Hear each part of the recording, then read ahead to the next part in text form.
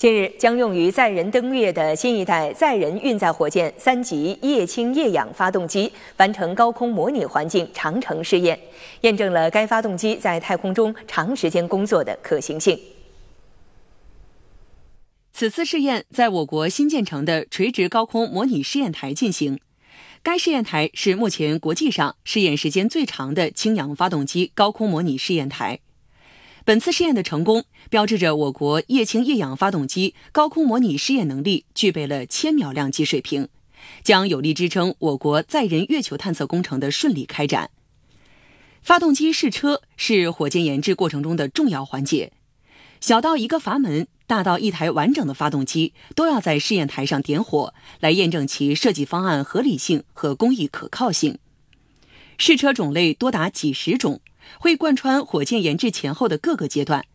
每个阶段的试车都有不同的意义，点火时长也从几秒到上千秒不等。